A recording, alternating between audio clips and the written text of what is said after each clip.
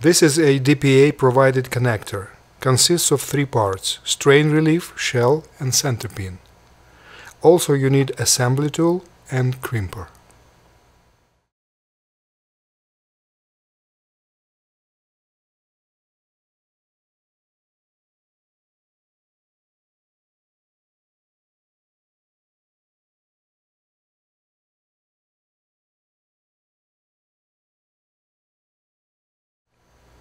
Start from sliding strain relief onto the mic cable. Sometimes it's a tight fit. Use of alcohol for lubrication is recommended.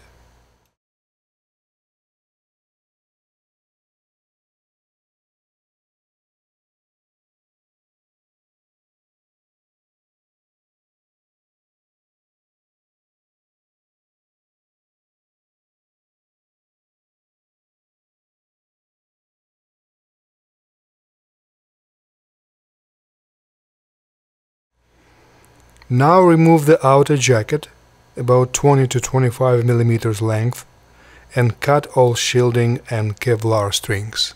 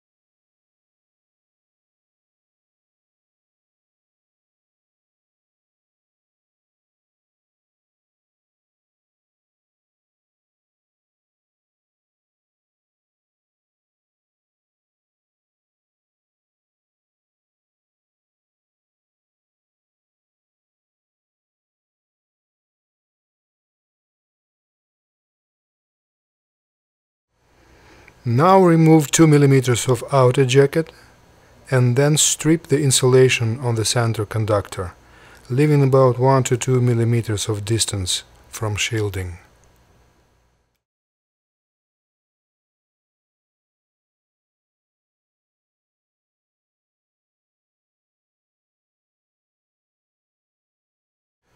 Tightly twist the fine wires together. I use a tiny bit of solder to prevent it from fraying.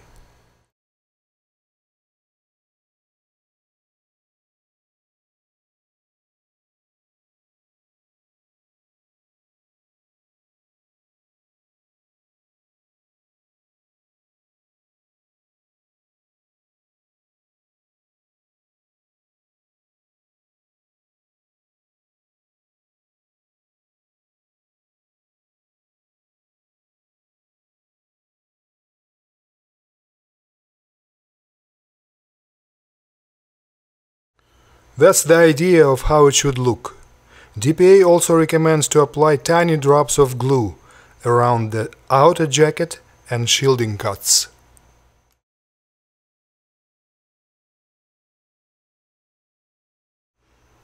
Screw the shell on the tool and insert the fine center wire all the way, actually screwing it in forcefully.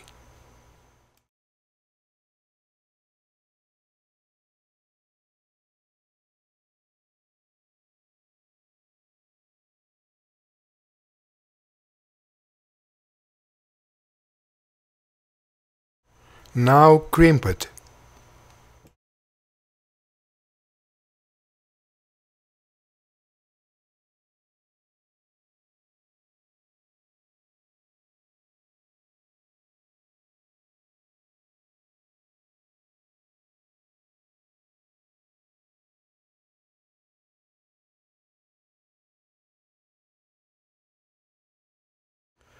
Unscrew the tool and screw it back on this time feeding the center wire through the fine notch in the threaded portion of the tool.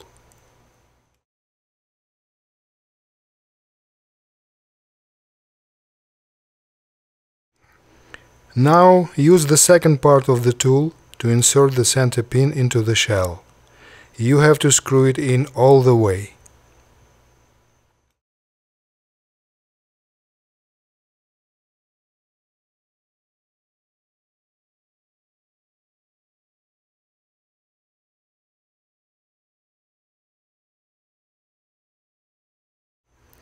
Unscrew everything and cut all the tiny wires around the center pin inside the connector.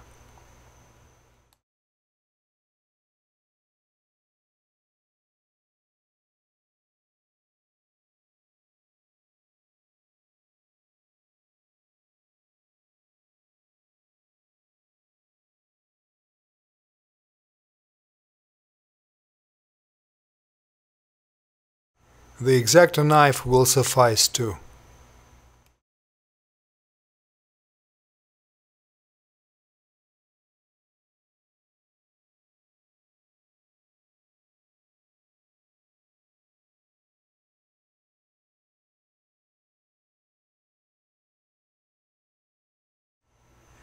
Now I can put the 3-pin LEMO adapter and test the microphone with a testing box.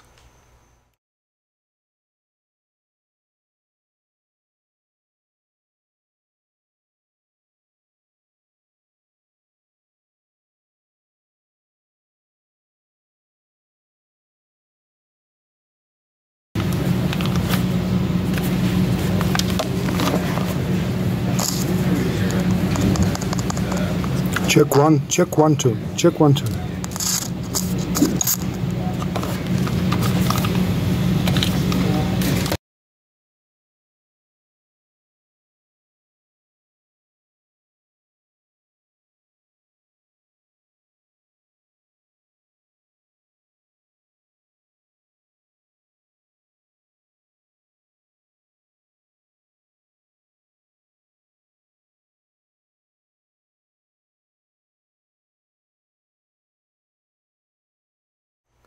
The last thing to do is to apply a drop of glue and push the strain relief onto the connector.